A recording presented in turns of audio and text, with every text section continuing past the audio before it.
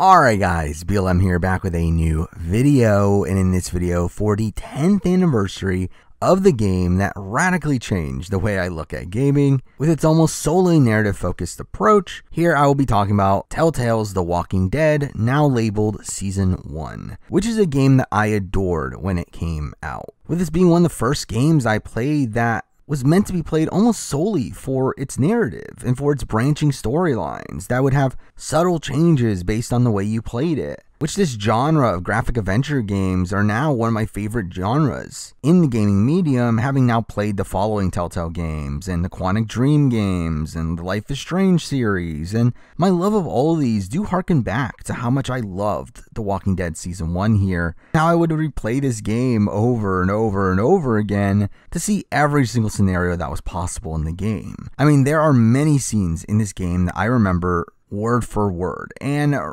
really, this is one of the games I have the most nostalgia for at this point. Despite its short sides, I do find this one of the best games Telltale has ever made, with the most gripping narrative and compelling characters. That, despite the plot kind of just meandering at points and the voice acting not really being the greatest either, to me, this game still tells one of my favorite stories in the gaming medium and really set the standard of what Telltale could do with their game structure. That, despite making some solid games after the fact, I do think they struggled to replicate the magic that they had with the first Walking Dead game here and the run through why I'll be talking about the game from beginning to end. And I can assure you, this is going to take a very long time. But with that, let's start by talking about episode one A New Day, which ends up being a great introduction to the series here, with it showcasing most of what would become standard tropes of Telltale games moving forward, while introducing us to a interesting cast of characters and this really interesting dynamic between Lee and Clementine that ends up carrying this game. Now, obviously, future episodes end up perfecting the formula this episode starts, with them doing more than the baseline that this episode achieves. But considering it's the first outing for this series, I do think they did a pretty good job at introducing it and premiering it here. But now let's run through the episode itself, which starts with a scene that I feel like I've seen hundreds of times, where we get introduced to our protagonist, Lee Everett, as he is on his way to prison. Having been convicted of killing a state senator that had an affair with his wife, and in this opening scene, we do have the officer driving him to prison, trying to have a conversation with him, which does serve as an introduction to how dialogue choices work in this game. You having the option to stay quiet, and you also having a time limit to decide on your answers. But through this, you obviously pick up on the context behind this scene that slowly builds up Lee's character, with the officer saying that he's different than other criminals for not declaring that he didn't do it which easily tells you that Lee is inherently a good man that got caught up in a bad situation here. But across the scene, you could tell something is going on here with police cars and helicopters passing by. The officer's radio continues to go off, all being fun foreshadowing to this being the start of the outbreak. And really, I do think this being the start of Lee's story here gives Lee an interesting perspective on the outbreak, where he was at his lowest point before the outbreak. And the events after the outbreak are actually what allows him to display the positive traits in his character and what gives him purpose. But either way, the scene ends with the officer crashing into a walker, causing the car to ride off the side of the road, knocking Lee out, where he awakens sometime later, and we escape the wrecked car to find the officer unconscious on the ground, and Lee approaches him to get the key to unlock his handcuffs, and while doing so, Lee hears a groan from the officer where we get the reveal that he has now become a walker. Attacking Lee here, giving us our first action scene in the game, most of which are kind of annoying to me, especially in the original release of the game where inputs were extremely laggy and there were a lot of sections where you had to use the cursor in order to interact with an object and those sections could come off very wonky. Though obviously that aspect of the game has improved in every iteration of the game that's come out since then. But even without that, I do still find these sections pretty monotonous as it mostly just comprises of you moving the cursor to the right spot at the right time, and again, kind of dull to me. But we do have Lee struggling to load the shotgun. That adds some suspense to the scene, but it obviously concludes with Lee's first walker kill here.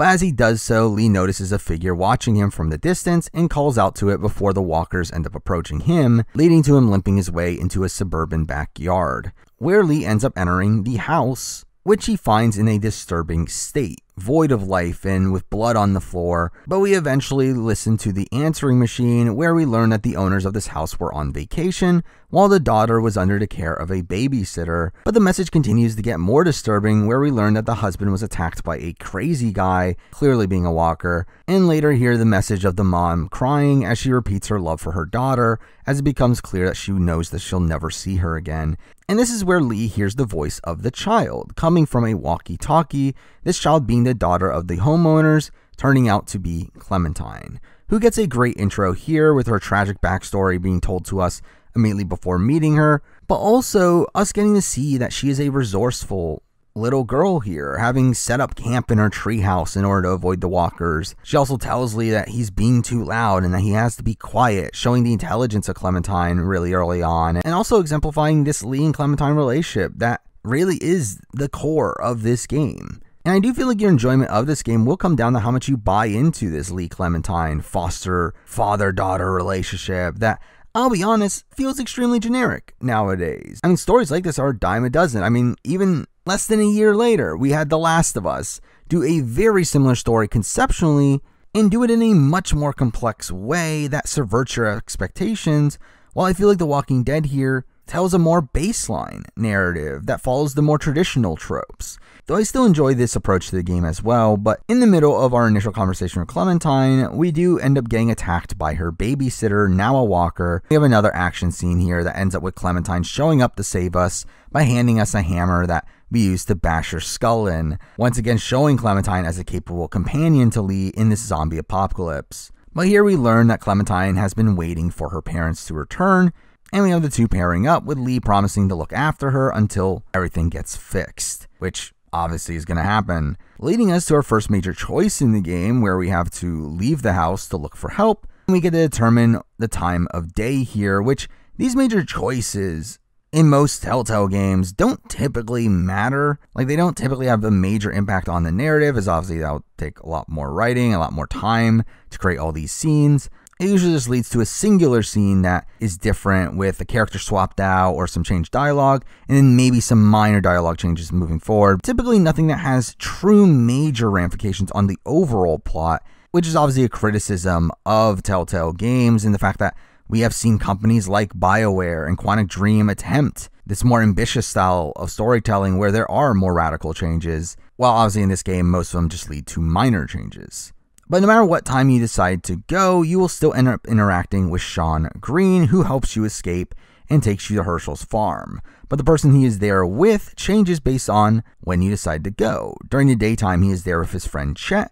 while during the night, he is there with a police officer named Andre Mitchell. Though interestingly, this decision does also end up changing the following scene where Hershel is more likely to believe the severity of the situation if you choose nighttime, as in that scenario, Chet has already died. And obviously, if he's not dead, then Hershel takes the situation a lot more lightly. But along the way, we do obviously get our first interaction with others after Lee and Clementine's partnership, where we can decide on whether or not to tell Shawn the truth about it, which in doing so does have an impact on how Hershel ends up treating you, as he will either believe your story or not based on your choices here, with this essentially seeming like a tutorial to how your choices will matter in future installments. But then we arrive on Hershel's farm, where we obviously get introduced to Hershel, the first of the major characters from the comics to make their way into the game. Which, to be fair, there's not a lot of, with most of those appearances happening in this first episode, seeming like it was done in a way to attach the fans of the comics in the TV show, but also allowing them to tell their own story moving forward. But Hershel here, I've always liked how he was portrayed, though it does come off as a bit over the top. Though, really, I mean, that's the game for you. But again, the way that this initial conversation goes is determined by the choice that you made earlier, where again, Hershel can either take this situation seriously or not, though either way, Shawn still decides to fortify the fence anyway, so again, it doesn't really matter that much. But also, you can choose how truthful you are to Hershel here, to where if you lie to him, he obviously ends up picking up on that. But again, either way, he will let you stay tonight. So again, it's still dumb. But that's the type of plot conveniences that you can expect from this game. But it does lead to Lee and Clementine sleeping in the barn, where we do get a nice little interaction between the two that seems to further bond them, while also resolidifying that Clementine still wants to go to Savannah to find her parents, while Lee still has nightmares over the murder that he committed. But then we jump into the next morning where we do get introduced to the other family that was spending the night at the farm, First, starting off with Kenny, who obviously becomes one of the major characters here, not just in this season, but also season two as well.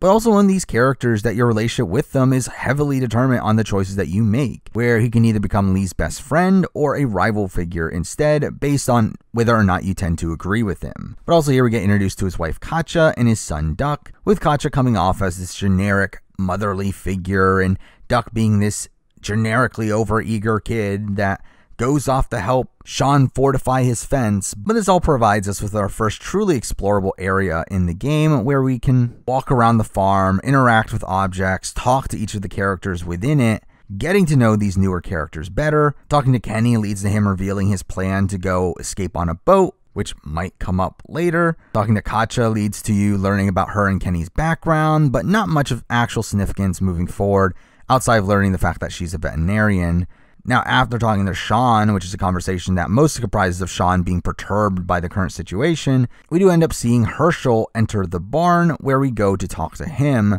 which is where we see the ramifications of our previous discussion, where Hershel will continue to interrogate Lee for a bit, during which we learn that Lee's family is from Macon, conveniently the city that Kenny stated that he was heading out for. But here, Hershel will give Lee advice, which again differs a bit based on whether or not you lied to him. Which, if you do, he scolds you and tells Lee to become a better liar. But either way, he does tell Lee that he needs to rely on the honesty of strangers moving forward, and that essentially your choices will have consequences, which is essentially the developers screaming out to you that you have to be careful about the choices you make here. And obviously, Hershel is a conduit for that. But then we do hear Shawn screaming from the outside, leading to Lee running out to save him, finding Shawn's legs pinned under the tractor that Duck had accidentally run him over with, while we have walkers attacking from outside the fence, and we get our next major choice in the game. And the first one that feels like it actually matters at the time of saving either Shawn or Duck. Now, in Telltale fashion, either way, Shawn is killed here, which is the moment referred to in the comics. So, again, cool for fans to see the scene in actuality. Though, obviously, technically, this isn't canon anyway, but really, this is a choice of whether or not to side with Kenny. As also, either way, Kenny saves Duck, but if you end up hoping save Duck, that obviously gives you favor with him. Well, going for Shawn gains you favor with Hershel, which doesn't matter as this is Hershel's last appearance anyway. But that option will obviously harm your relationship with Kenny. Either way, Hershel is horrified as his son gets killed and has his really over the top acting as he kicks Kenny and Lee off his barn, which is a moment that for some reason has always lingered in my mind. Of them being kicked out, no matter what side you end up choosing, Kenny still allows Lee and Clem to tag along with them to Macon, which is ridiculous if you didn't side with him. Though this is where you start to realize the way the writers are utilizing Clementine in the story, as she's used as a way to rationalize this. Again, a common occurrence across the game here of Clementine warming up Lee to strangers, and this being used by the writers to explain some irrational situations. But then the group arrives in Macon, conveniently running out of gas just as they get there, and as expected, we get attacked by a group of walkers, during which Duck gets attacked by one of them,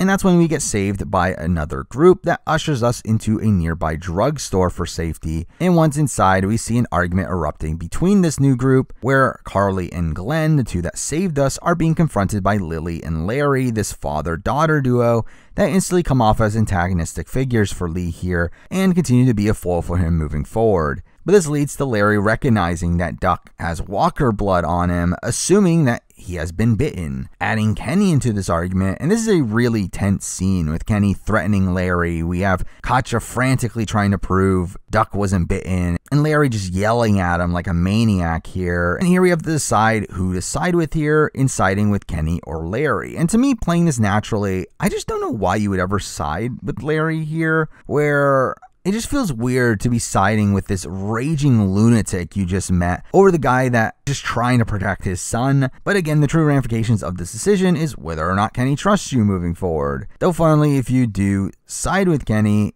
you can egg him on to trying to knock out Larry, to which Larry ends up striking him down instead. But again, either way, we find out that Duck wasn't bitten and we are allowed to stay. So again, another choice that doesn't really play a factor on the current plot, but one that does have ramifications moving forward. But throughout this scene, we do have Clementine constantly talking about needing to go to the bathroom, only for her to get attacked by a walker as she enters the bathroom, leading to a short action sequence that does largely feel unnecessary, though Carly does end up being the one coming to the rescue, kind of establishing her character at this point and making her an instantly likable one at that. But this causes Larry to lash out at her again, only for this time to cause him chest pain, with Lily explaining that he has heart problems and needs pills from inside the pharmacy, giving us our next objective. But at this point, we can walk around the drugstore and talk to everyone inside, and this ends up taking up a bulk of this episode. And really, this section is probably the most that this game feels like a traditional adventure game, where again, a lot of this game is more story or action focused, but this is a section that is largely a puzzle section, where finding your way into the pharmacy does require a lot of strange sequences of events that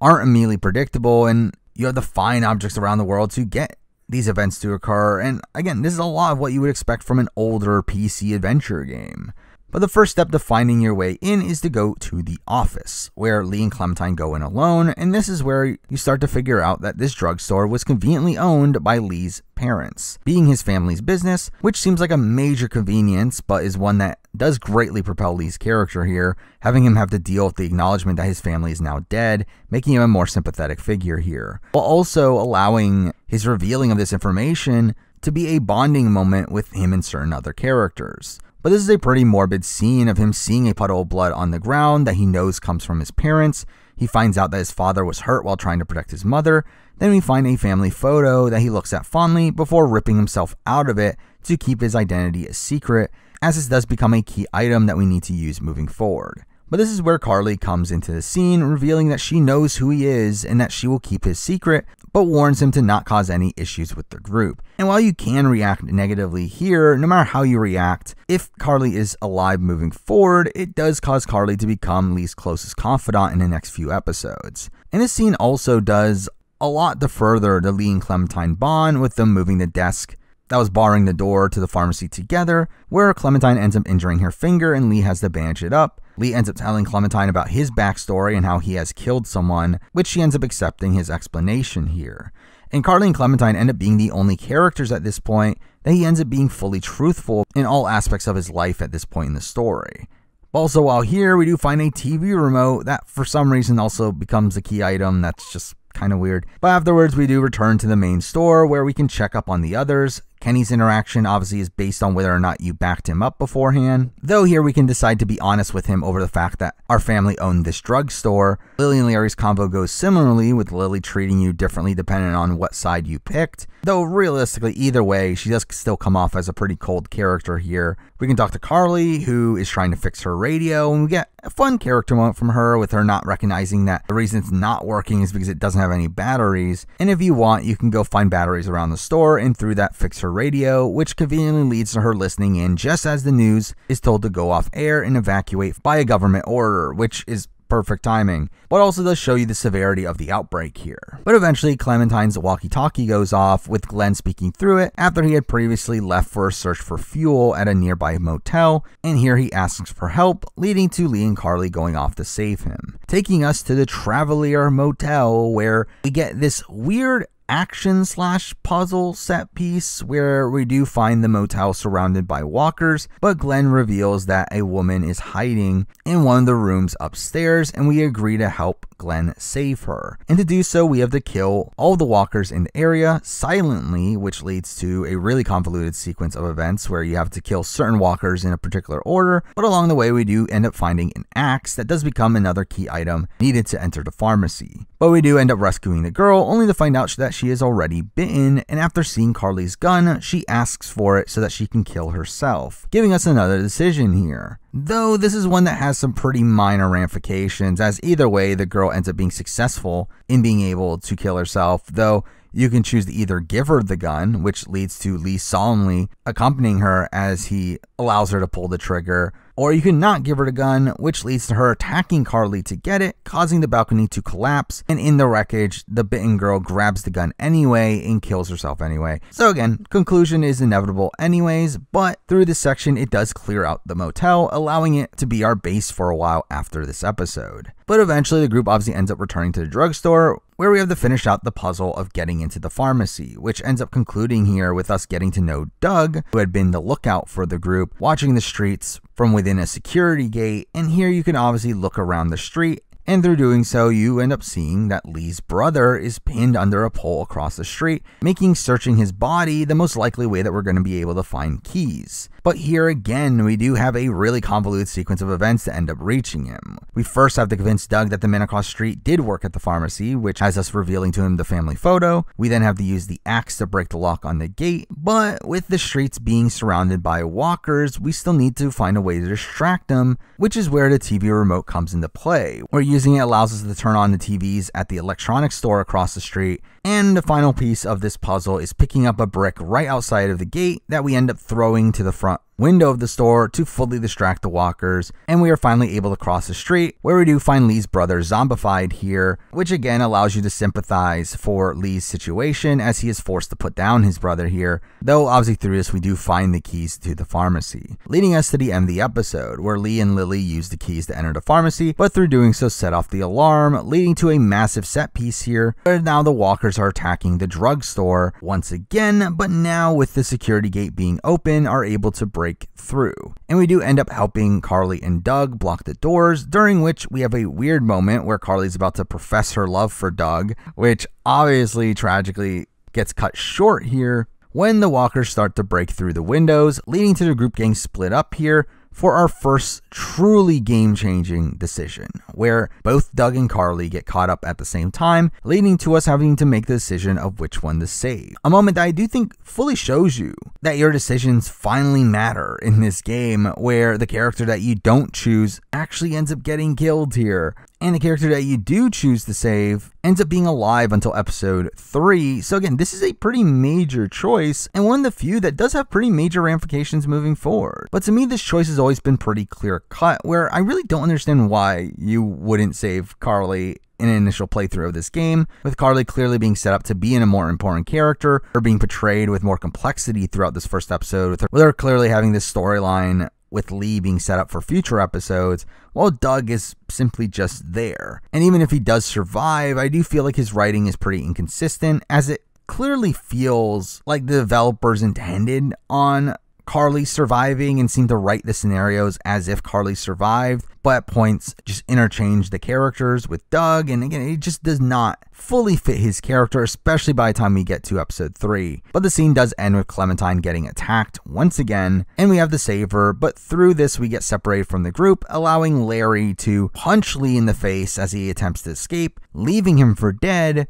which is a dick thing to do as we literally just spent the entire episode trying to save him. But no matter what, Kenny ends up coming back to save us with the one liner he says changing based on the status of our relationship. But this does continue this love hate relationship that Kenny and Lee have here. But then we get to the final scene of the episode where we do find out that the group has decided to settle at the motel, where we do get this interesting section of approaching each faction within the group one by one, essentially doing these checkups with them. First, we have Glenn, who I've failed to mention up to this point is obviously a major character within the comics, and his appearance here shows what happens to him immediately before the events of the comics as he ends up leaving here in order to find his group of friends. We obviously end up thanking Kenny for saving us and find out his plans about staying at the motel for the near future. We end up hearing Carly slash Doug talk about their guilt over the other's death. Clementine reveals to us that her walkie talkie broke during the escape, which upsets her as it obviously reminds her of her parents, which makes it so that Lee and Clementine are both dealing with the loss of their parents at the same time here, though obviously the walkie talkie ends up being a major plot device moving forward. But we do end this with a conversation with Larry, where Larry reveals that he knows Lee's background as a convicted murderer, which obviously builds up more tension over how this conflict will play out. But the episode itself does end with the group hearing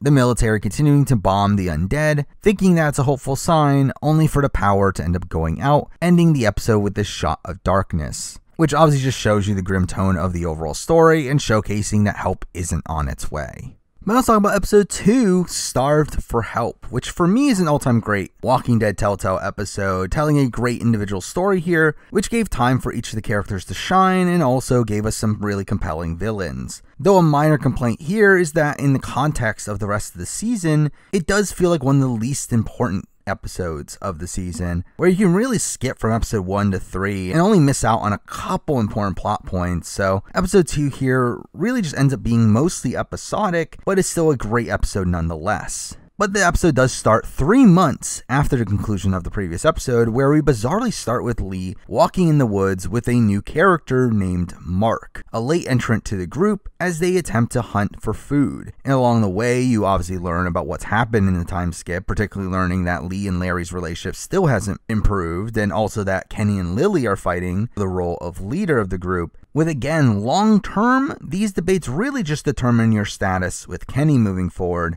though short term, obviously, the choice between Kenny and Lily feels more important. But also, here we learn that the group is running out of food, which really propels the entire plot of this episode. But eventually, we do hear screaming and end up finding a group of three, with one of them being David, this teacher who has his leg trapped in a bear trap, while the others are two students in Ben and Travis who are trying to help him out. And instantly, we are given the decision of deciding whether or not to chop David's leg off in order to free him with that being the only way to actually free him here, as you can waste time trying other options, but they don't work. If you don't rescue him, you end up leaving him for dead, which leads to Travis freaking out, getting him accidentally shot in the stomach, which has always felt dumb to me. While if you do chop David's leg off, it does lead to this really gruesome scene of you having to press for every chop, and you have David screaming out in pain the entire time, but if you go with this route, then Travis ends up being attacked by a walker instead and ends up dying that way.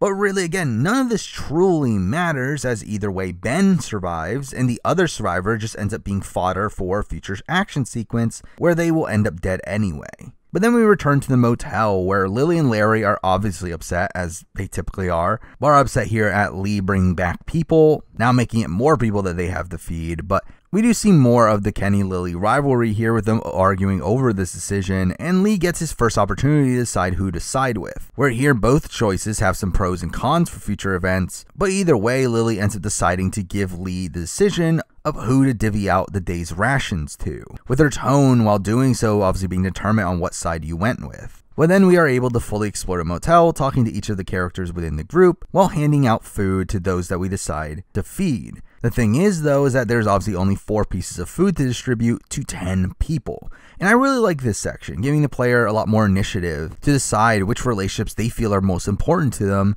as really that's all this is. You give food to the people that you want to bolster your relationships with. Now, obviously, Clementine should be an obvious choice as someone to give food to. And when talking to her, she reveals that her hat has disappeared, which obviously feels like foreshadowing to a future event. Other than that, I typically give an apple to Carly, which is the only food that she ends up accepting. Then I end up siding with Kenny by giving him and Duck food as well. Though obviously, if you're siding with Lily, you would give it to her and Larry, but no matter what your choices are here, you do end up being scolded by those that you don't feed, and obviously supported by those that you do. Now, along the way, you do also end up finding Larry and Mark working on the wall, which gives you a minor decision on who to give the axe to, which I always pick Mark, because, I mean, why would you give it to Larry? But also, you could talk to Ben for the first time here, who is understanding of why you wouldn't feed him, and instantly I do feel for him as someone who is now all alone, and is a character that I never understood the vitriol that he gets from a lot of the fan base, where, yeah, he is kind of useless, and he does mess things up for the group, but I do think his backstory here is kind of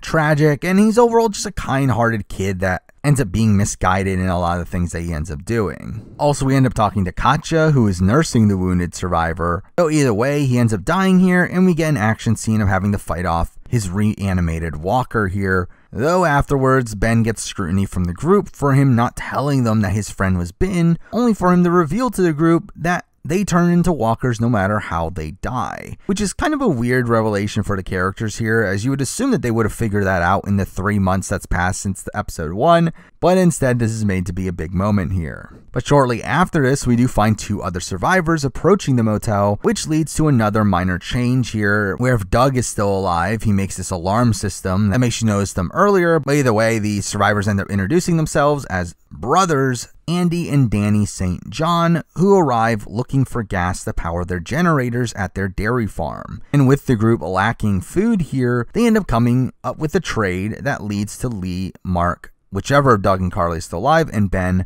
going to the farm in order to scope things out. Now, technically, Lee can disagree with this plan, but he gets overturned anyway. But instantly, Andy and Danny obviously are supposed to come off as these unassuming, likable figures, and I do feel like that is the way I looked at them the first time I played this game as a kid. But in retrospect, obviously, the signs are there that they are a lot more devious than intended. Now, we do get a somewhat short scene walking to the farm where we do end up talking to Andy and Danny, talking about our group's dynamic. Once again, having to state which of Kenny or Lily we think is the leader, but eventually you end up coming across a group of bandits where we get to see one kill another, instantly showing you how dangerous and volatile this group is, and on the offset, setting them up as major antagonists for this episode, though obviously that ends up changing. But then we do arrive at the farm where you get introduced to the brothers' mother in Brenda, who comes off instantly as this overly generic, nice southern mother figure, but we end up hearing from her that the last of their cows is sick, and with Katjaa being a veterinarian, it allows us to broker a deal to have everyone come over for dinner at the farm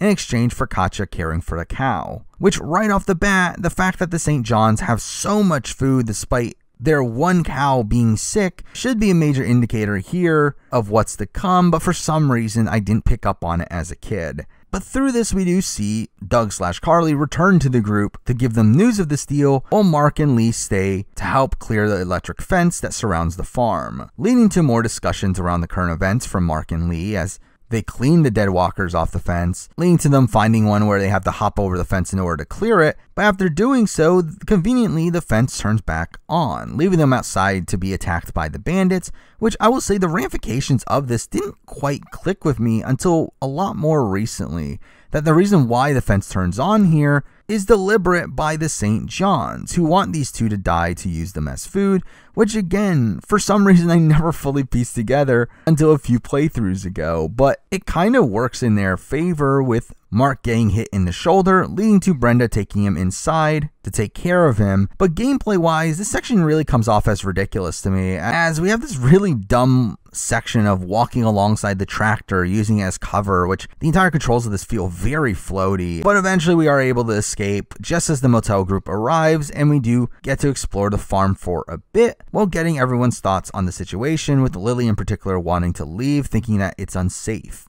We also can do a bit of a side quest here and making a swing for the kids to play on, which is a nice little moment for Lee and Clementine there, but really the story progresses with the St. John's now wanting to hunt down the bandits for breaking their truce, leading to Danny and Lee going off to a camp in the middle of the woods where they find some boxes from the dairy. And throughout all this, Danny comes off super sketchy, with him clearly trying to hide something. He sees Lee finding a camcorder, and we see Danny being relieved to find out that's lacking batteries. We do check inside the tent where we end up finding Clementine's hat. At this moment, Jolene arrives and threatens to shoot the duo. Her being this deranged woman that we assume is with the bandits, and here we get the choice of whether or not to shoot her. Though either way, she ends up dying here with Danny shooting her if we don't, which I do find dumb how like Danny instantly is appalled that Lee shot her if you choose to do so, which is ridiculous considering he was about to do it himself, but again, whatever. Returning to the dairy, we do see Kenny and Lily fighting as usual, but we find out that Kenny is suspicious of a locked door at the back of the barn, and we are tasked with finding a way to open it after Kenny makes a pretty ridiculous racist comment here and claiming that he's saying it because he's from Florida. But along the way, we also give Clementine her hat back. That does lead to a little moment of her telling him that he will be a good dad someday. But going back outside, you are able to find a multi tool. Which you can use the screwdriver to open the door, but first you need to distract Andy to get him out of the barn first, which leads to us sabotaging the generator in order to do so but eventually we are able to open the door and are shocked to find large amounts of blood and torture devices inside, which leads to Andy sneaking up on Lee, telling him that dinner is ready, and claims that this is where they skin animals, which is a response that Lee accepts for now, but obviously sets up this ominous tone for what we eventually learn. But we do enter the house while everyone is starting to eat dinner, which leads to Lee asking for where the bathroom is, which allows us to explore the house finding some worrying signs of bloodstains on the floor, and we see a power switch that lights up a room connected to the bedroom but blocked off by a bookshelf,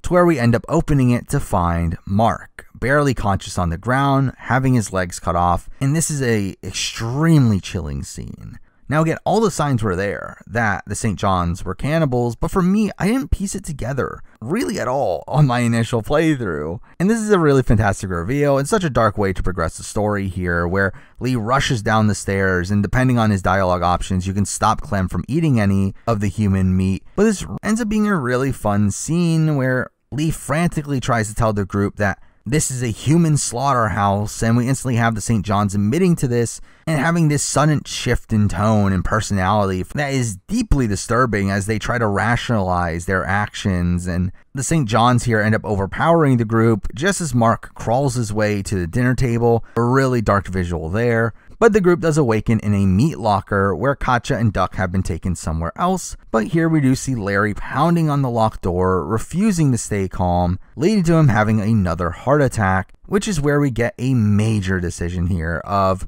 helping Lily to try to revive Larry or helping Kenny in killing Larry. And either way, this is an extremely dark scene, as either way, Kenny kills Larry right in front of Lily. But for us to be helping in this murder is obviously a brutal scene as well, as Clementine is watching. And this also leads to Lily obviously scolding us if we don't help her and not helping us moving forward, while siding with Lily causes Kenny to still kill him but also harms our relationship with Kenny. And realistically, like I do get Kenny's point of view here. I mean, it is logical to think that if Larry were to become a walker, it would be a very difficult walker to contend with, considering his massive size. So again, I do think this is a decision that is a mostly complex one, to where I don't even know what I personally think is the better option here from a realistic standpoint. But either way, I mean, this is really just another choice that determines this like Kenny versus Lily debate. And I do find it funny how if you do nothing here, you actually are able to get the best of both worlds with neither side taking umbrage with you, which kind of minimizes the impact of the choice here. But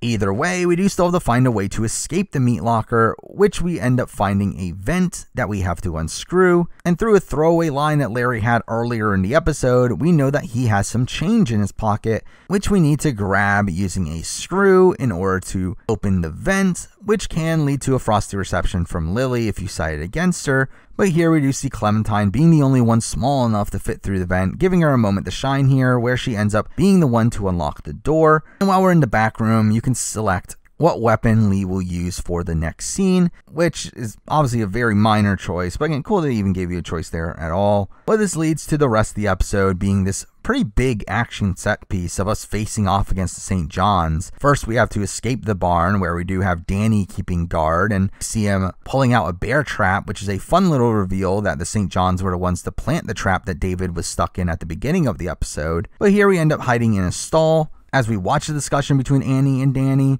with us being able to peek out at points, though eventually when we do, Danny points his rifle directly at Lee's face, starting this fight sequence that leads to Lee getting saved by the one that he sided with in the Larry debate, where they knock him into his own bear trap, giving Danny a satisfying downfall here, though here we are given the choice of whether or not to kill him, which really doesn't play that much of a factor on the story here, though obviously if you do, Clementine ends up seeing it and is shocked by it, and also the stranger will eventually bring this up as a reason why you're unfit to look after her in the final episode. Though again, not really anything too too major here in terms of the general plot. But beyond this, Kenny runs off to find his family, while Lee ends up getting distracted by Doug slash Carly and Ben, who had originally stayed back to watch over the motel, but conveniently show up here, having left their post for some reason. But then we get to the main house, where we do get this weird standoff against Brenda, who's holding Katjaa captive, where you do have to give specific responses to not piss Brenda off. And by walking closer to her after each of these responses, she ends up backing up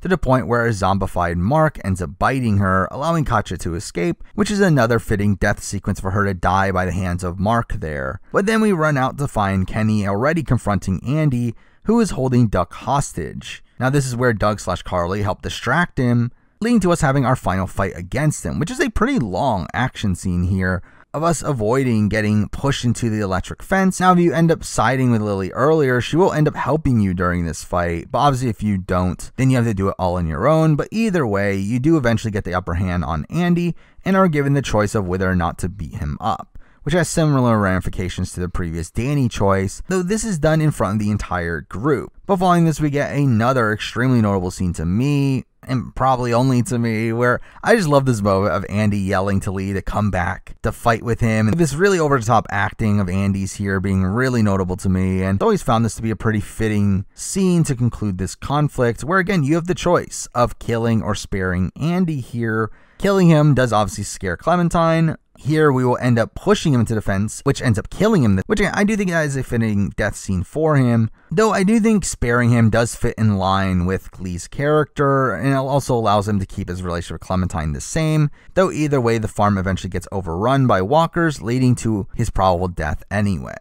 But then we end the episode with a return to the motel, where during the walk we have a conversation with Kenny over the decision with Larry, where if you side with him, he tells you that he plans on still going for the coast and wants you to come along with him, while otherwise he obviously tells you to stay out of his way. Also, we have a convo with Clementine that shows Clem's role as Lee's moral compass, where we end up having to talk through our decisions at the farm with her. But then the group ends up finding an abandoned car, which is filled with food and supplies, obviously being the end of the group's issues here, but at the same time would be taking this away from some stranger that we might come to know later on. And I do like how this is a pretty unassuming decision to make here, where it doesn't seem like this is going to play much of a factor on the story moving forward. Though obviously we get the major revelation in the final episode that it is an important decision. But either way, the group ends up stealing the supplies, though Clementine ends up being against the idea, and obviously we have to make the choice of whether or not to agree with it as well, which funnily to me decides whether or not Clementine gets a new hoodie or not,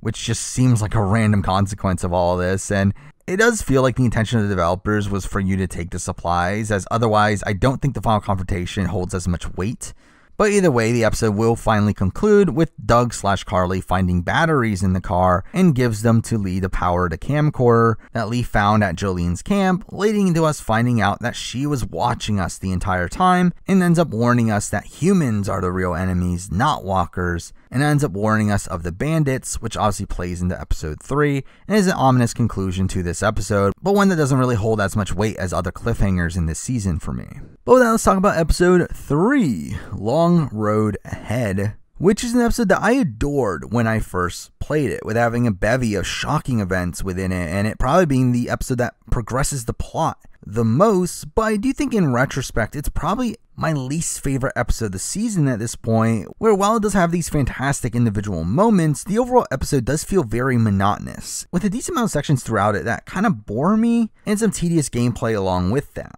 Now, episode 3 does start once again after another time skip, the final true time skip of this season, this time being three weeks later, and starting with us seeing Lee and Kenny having to return to the town of Macon in search of supplies, having already run low on what they stole from the abandoned car, leading to them running into the drugstore for one last trip for its supplies. But here we do instantly have a conversation with Kenny where he reiterates his plan of going to the coast, which starts to come to fruition in this episode. But we do also get our first puzzle section of us having Kenny climb a ladder to go over a truck, only for that ladder to break, leading to Lee having to find his own way up, which does require the use of a winch on a military Jeep that we use to move the Jeep closer to the truck that we can use as a base to use as Kenny pulls us up. But along the way, we do have more discussions with Kenny, including talking about Lily. That obviously changes based on whether or not you side with him in the last episode. We also hear from Kenny that Duck has recently talked about Shawn's death, showing Kenny still having guilt over Shawn's death, which plays a factor into his psyche moving forward. But before climbing onto the truck, the two end up hearing a woman screaming, turning out that she is being chased by a group of walkers, but is clearly already bit,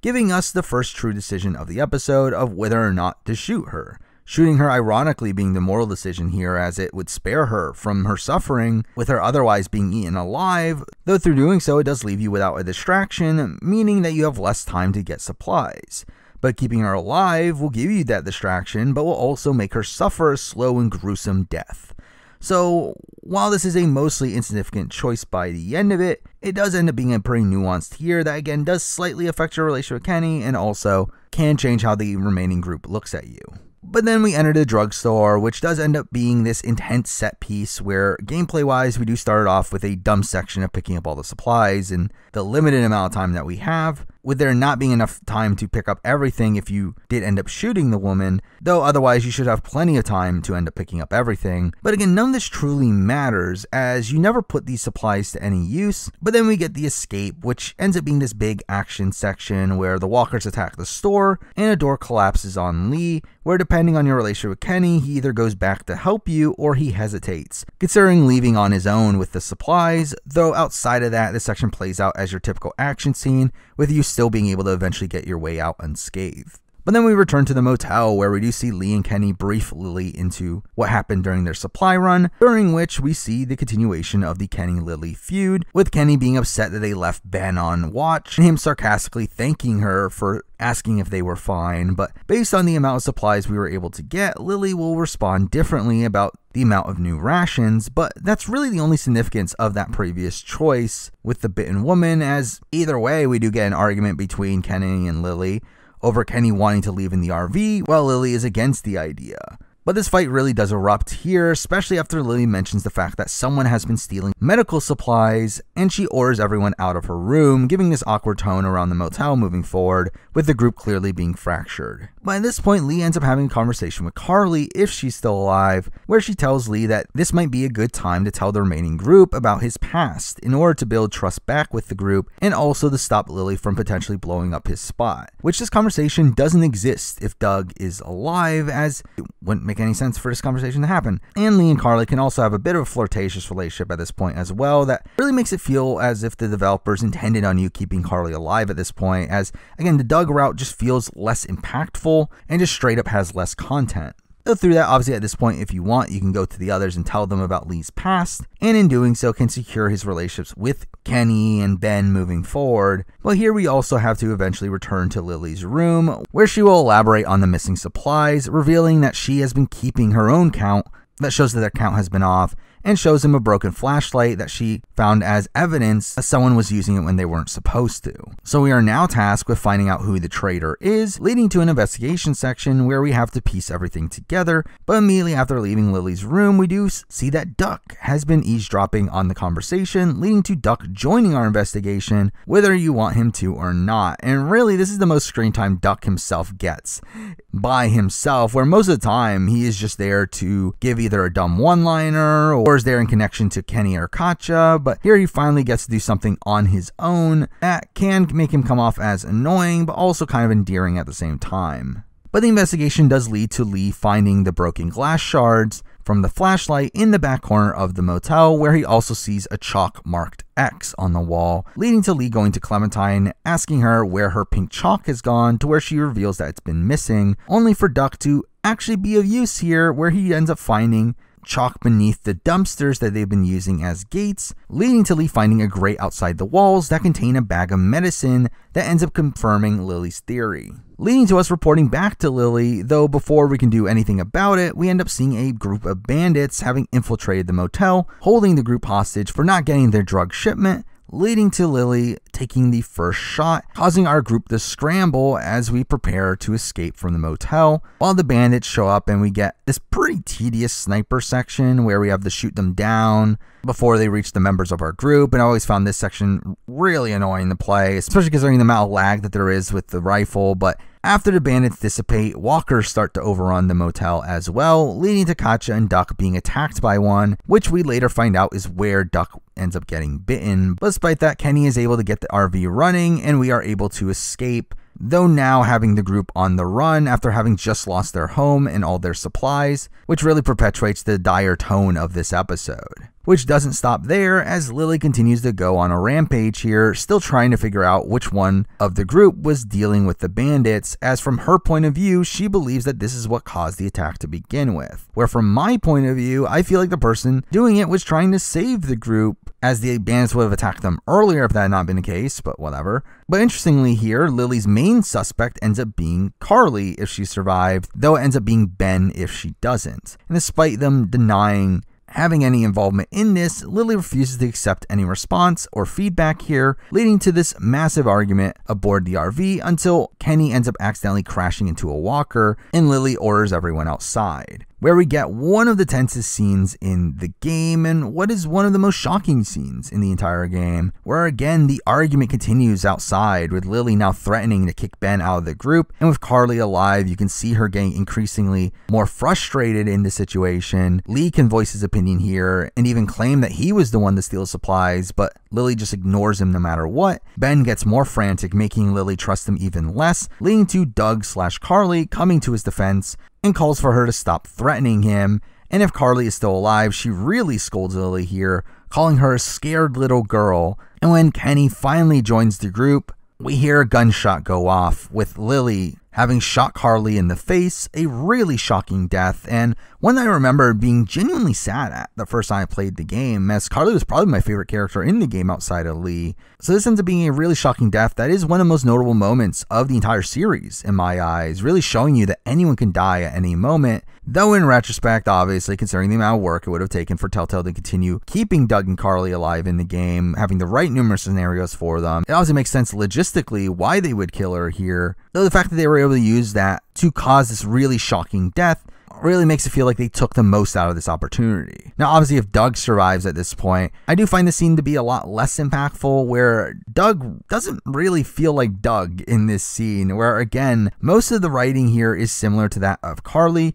making him feel a lot more bold than the meek, nerdy character that we had known for most of his run here. And he ends up dying not because Lily aims for him, but because she aims for Ben, and Doug tries to pull him out of the way, causing him to accidentally take the shot himself, which again, I didn't find this to be nearly as impactful for me. And it also just feels kind of out of character for Doug to be doing this. Here we are given the decision of what to do with Lily, which is a choice that leads to pretty minor ramifications on the story here, but also ramifications for the final season, which I may talk about at some point. But leaving her behind goes along with what Kenny wants, where we just end up driving away as, as we see Lily through the back window as she notices a walker and ends up running away from it. While if we let her back in, Kenny warns Lee that this is a mistake, which it ends up being, but either way, it does lead to Lily calling out Lee's pass, which obviously, if you had told Kenny already, he ends up standing by you. Though, even if he doesn't, he just ends up being annoyed and it doesn't really play that much of a factor in the story. Though, obviously, it would have made more narrative sense if you did tell him. After this, we do get another gut punch where Katjaa calls Lee to the front of the RV, where they end up revealing to him that Duck has been bitten. Again, really making it one bad thing after another for the group here. But here we do first see Kenny's delusions of him not being able to accept his son's fate, where he talks about the plan not changing and having hope that maybe someone has found a cure, which obviously wasn't going to happen here, but we do end up telling Clementine this news as well. And again, this conversation with Clementine ends up allowing Lee to unpack the recent events and ends up being another bonding moment for them. Though along the way, Lee ends up having a nightmare of Clementine becoming a walker and attacking him, which does show you how this Duck news has affected Lee here, realizing that what happened to Duck could easily happen to Clementine, which does affect the story moving forward. But then the RV gets stopped by a derailed train, leading to everyone getting out uh, except for Lily if she's still there. But we are tasked with having to figure out how to move the train, which ends up being a really tedious puzzle section in my eyes that also does take up a bulk of the episode here. But we do also notice that someone has made a camp inside of a boxcar, which foreshadows a new addition to the group. But we do find a map to the train route where he will find out that the train conveniently heads to Savannah, a city by the coast, and also the location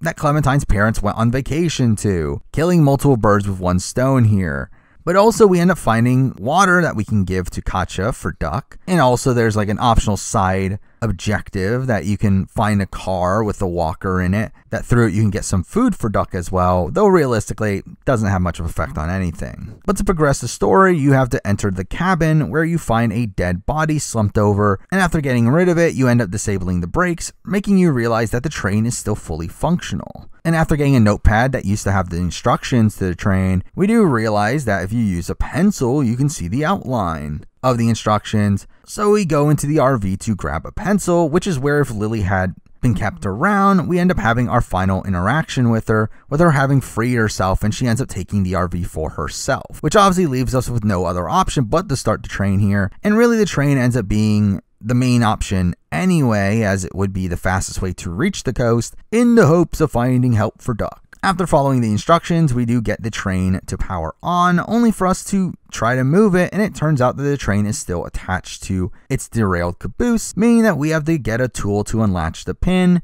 which after doing so, we finally get introduced to the new character here, the vagrant living in the train, that being Chuck, who does come off as a pretty interesting character here, having a forthright personality that also seems pretty insightful at points. And I did find him to be a welcome addition to the group here, though you can start your relationship off on a bad note by lying to him about taking anything from his camp, but realistically doesn't matter too too much. And either way, the group still ends up boarding the train, still unsure of what to do about Duck, with Clem even mentioning Duck's deteriorating condition. But Kenny refuses to do anything about it, though as we do turn on the thruster, we do see Lee and Kenny smile for a moment, with Kenny's smile starting to fade, which makes it clear that even he recognizes the dire situation that they are in. But then we cut to a few hours later where everyone but Kenny is in the boxcar, where you can bond a bit with Chuck, though eventually Katjaa calls Lee over to show Duck, now coughing up blood, which Katjaa wants Lee to use as motivation to get Kenny to stop the train, leading to us going back to the cabin where Lee has to convince Kenny to do so, but Kenny initially ignores him, and here we get numerous options in how to try to get Kenny to see reason here. From getting aggressive to calling out Kenny's denial to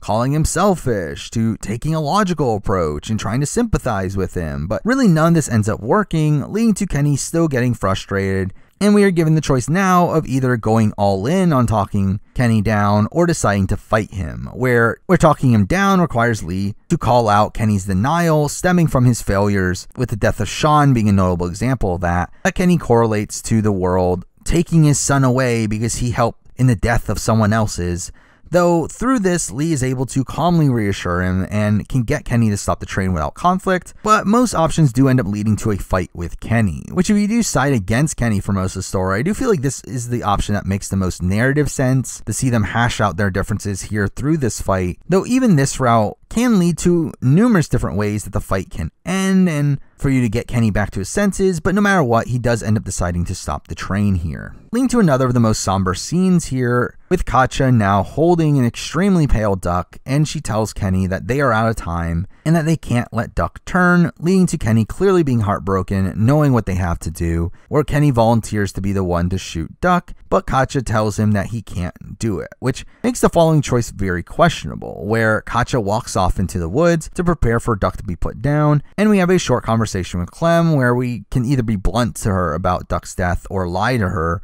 though I feel like that doesn't feel like as satisfying for their arc. But eventually a gunshot is heard where we run into the woods to find out that Katjaa had decided to kill herself before having killed Duck which I will say, I think this makes for a pretty unlikable ending for Katjaa here, where obviously you understand the situation of a grieving mother and the sorrow that comes along with that, but for her to kill herself here does make her come off as selfish, in that she leaves Kenny alone in the position where now he is obviously this broken man, having just lost his entire family in one go here, so I didn't love that outcome for her though it does propel Kenny's arc moving forward. But with Duck still alive, Kenny asks Lee what he should do, giving us the choice of killing Duck ourselves or having Kenny do it. Now, having Kenny kill Duck here does seem particularly cruel to have Kenny have to kill his own son here and while Lee assures him that everything will be okay, it does end up being an extremely dark scene here, while having Lee kill Duck does again gain him favor with Kenny and just seems like the more humane thing to do after what Kenny had just been through.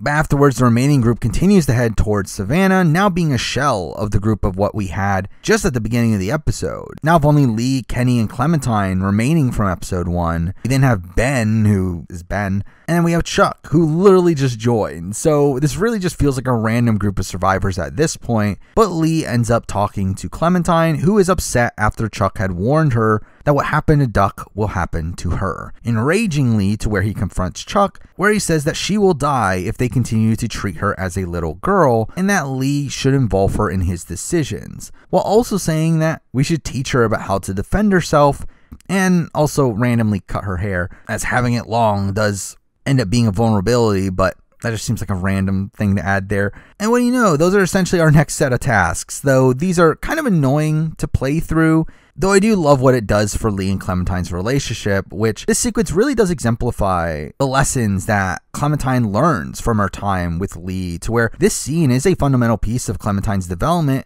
especially her development as a character for future installments, with the lessons that she learns in this scene impacting her decision making in future games. But again, the actual process of teaching her here is just kind of annoying. You have to teach her how to shoot, during which you have to point her in the right direction, and that's kind of boring. You have to find scissors that you use to cut Clem's hair, also kind of boring, though, uh, again, nice bonding moment between Lee and Clem. But the final piece of this section is creating a plan, which we need a map in order to do so, leading to a really dumb sequence of events of Kenny being unwilling to move from the engine car to allow us to grab the map that he's sitting next to, leading to us having to find a bottle of whiskey that we give to Chuck just for us to tell Kenny about, which is the only thing that's able to lure him away from the chair so we can grab the map again. All this is just really dumb. Before returning to the boxcar, we do end up getting stopped by Ben to where he reveals to us that he is the one that was sneaking supplies to the bandits, which the characters in the series obviously have hard feelings against him for doing so. And I feel like a lot of the fan base also seems to hate Ben, partially due to this revelation, which again for me, I never got the hate, where if anything again, Ben was saving them from the bandits and got them to stop attacking them for as long as they did, and technically his plan was working until Lily and Lee were the ones to ruin it. Like, Ben had good intentions while doing this, so I never personally got the hate for him for this situation, but we finally do end up making a plan with Clementine where she wants to go look for her parents no matter what, and Lee ends up agreeing to that part of the plan, and we do figure out that they are staying at a hotel called the Marsh House which might be important later. But immediately after the scene, the train ends up stopping once again, this time being because of a petroleum tanker hanging from a bridge, which ends up blocking the path forward. During which we finally get to see Kenny being frustrated by this, continuing his really bad day, but eventually the group is cut off by the presence of two new characters atop of the bridge in that being Christa and Omid, two pretty major characters despite them being introduced over halfway into the game,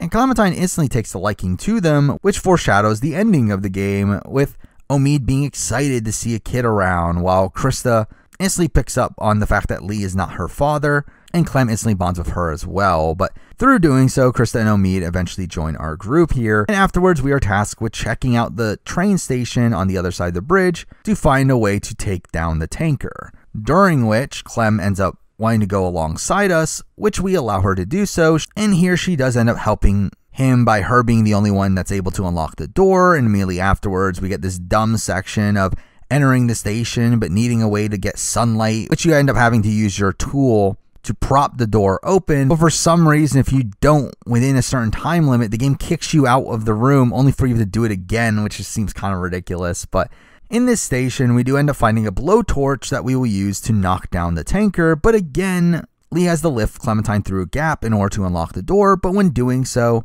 Lee gets attacked by two walkers, leading to a bit of an action sequence here that does have us losing our pistol. Though through grabbing his weapon at the door, he is able to kill the two walkers. But when looking at Clementine, we do see her having picked up the gun, but was too scared to shoot, only for a walker to then show up behind her, leading to us having to unlock the gate and Clem handing the gun back to Lee to where he finally takes the walker down. I mean, this entire sequence does further show the strengths of them as a duo and does provide some development for Clementine, but immediately following this, we do end up seeing Christa end up entering the station, having heard the gunshots, where she criticizes Lee for taking Clementine into this situation, which ends up showing them having conflicting personalities at this point. But this scene does nicely end with Lee giving Clementine another lesson in Clem saying that she wasn't ready for the gun, but he responds instead by telling her to learn to not be afraid, which seems to be a piece of advice that sticks with Clementine moving forward. And also by the next episode, we see this being fulfilled. But we do end up grabbing the blowtorch and return to the bridge where first we need to find some tape to fix the blowtorch to, which is kind of dumb.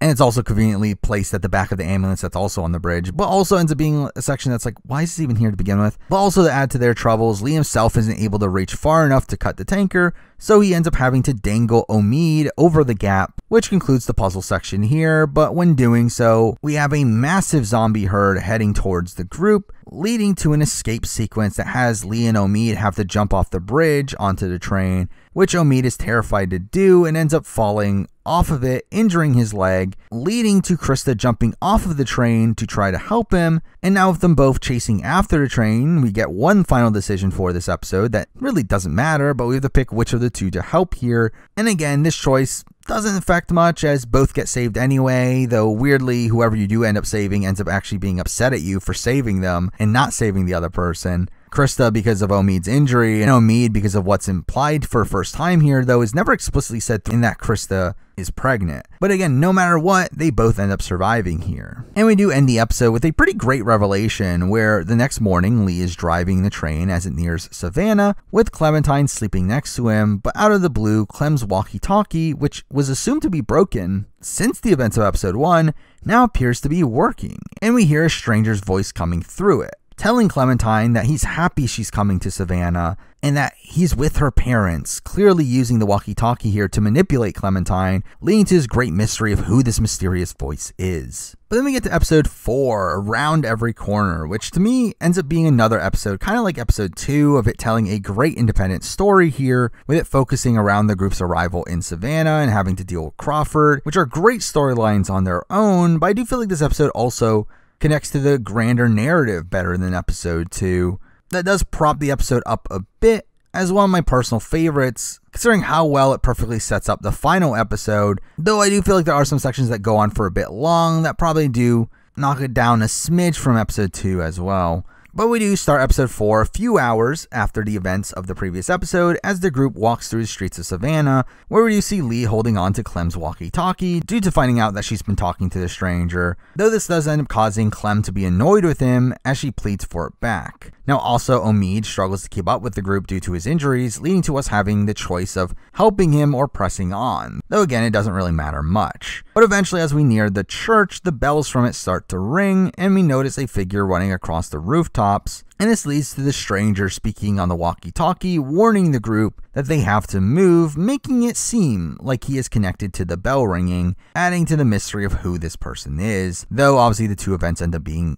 unconnected. But this does lead to another action sequence where walkers start attacking the group, where instantly Kenny gets tripped up and we end up having to save him. But then we see Clementine and Ben being cornered by a group of zombies, and Ben shows how feckless he is by abandoning Clem, leading to a first person shooter section that has us shooting down zombies on our way to Clem here, which I've always really hated, considering the aiming is really janky here. But Chuck ends up saving her anyway and decides to stay to fight off the other walkers, telling the group that he'll meet up with them later, which he sadly never does. So he does end up getting this heroic sacrifice here that does feel very abrupt, especially considering we only met him like halfway through the last episode, and for him to instantly get separated from the group here is disappointing considering how integral of a character he was in getting Lee to prepare Clem for the apocalypse. That just feels like he was used more so as a plot device in order to spring that on than an actual intended interesting character here. This does lead to the group fleeing to the backyard of a mansion, leading to our first explore area of the episode where we have to find our way into the mansion, which we find out is probably through the doggy door, which is electronically locked, meaning that we have to find the animal collar to open it, leading to this pretty depressing scene of us finding the dog's grave and having to dig it up, where we find the dog decomposed, and we can tell Clem to stay away, which will end up hurting our feelings, but even if you don't, Christa pulls her away anyway, and we do end up having to take the collar off of the dog, which is a morbid scene as the dog's head rolls off its body, and we see Christa vomiting, which is supposed to be foreshadowing to her pregnancy, though I feel like it's also just kind of weird timing as really any normal person could also puke in this situation. But with the collar, we're able to open the doggy door, but none of the adults can fit through it. So unpromptedly, Clementine crawls through and unlocks it, again, furthering her development of her now not being scared to do situations like this. Though Lee can respond to this in varying ways from worry to anger to praise, with obviously praise seeming like the best option here. But once inside, we do get some speculation over the identity of the stranger, while also Christa gets upset for not being told about the situation beforehand,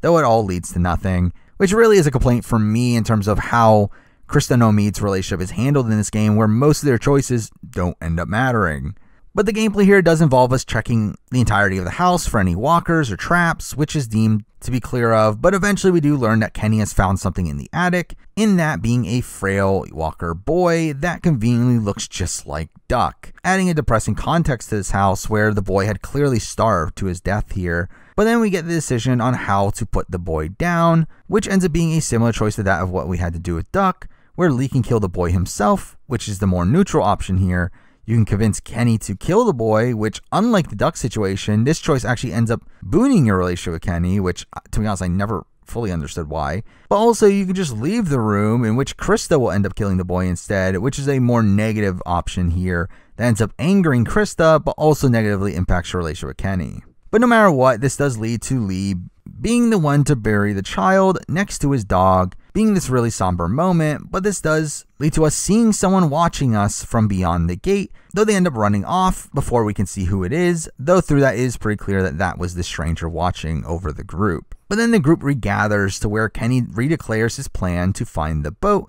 leading to him and Lee going off to the harbor to look for one. Which, when they arrive, they obviously find the area void of boats, except for one sunk halfway into the water, and in Kenny's typical delusion, he tries to salvage it. But while he is doing so, we are tasked with using the telescope to check out the other side of the river to see if there's any more boats, but we find out that the telescope needs a quarter to activate it, giving us this open area of this empty street that we can explore where we find a barrier made up of zombified bodies with live walkers being impaled on spikes that ends up being this really ominous setup towards Crawford, the antagonistic group for this episode. But eventually, we do find a newspaper stand that we get to spit out a quarter, and we use it to look through the telescope, revealing nothing of use until we see a shadowy figure on top of a building climbing down to the street, where we initially watch the figure until Kenny creates a plan to ambush them. But when Lee tries to sneak up on them, we find out they have disappeared, reappearing behind him, starting a fight sequence between the two where no matter how this fight plays out, Clementine ends up showing up, having somehow snuck away from the mansion. But if you do the fight properly and overpower them, Clementine's appearance ends up distracting Lee instead, while